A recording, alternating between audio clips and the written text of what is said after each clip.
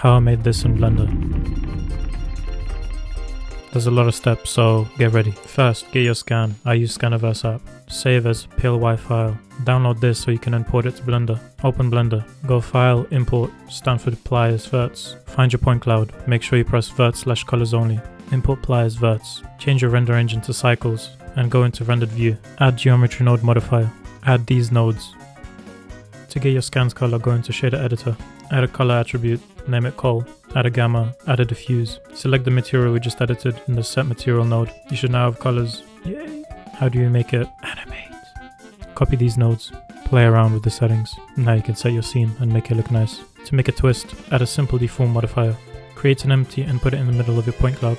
Add a camera, keyframe your camera moving backwards. Go back to simple deform, select origin and select your empty. Keyframe the angle and that's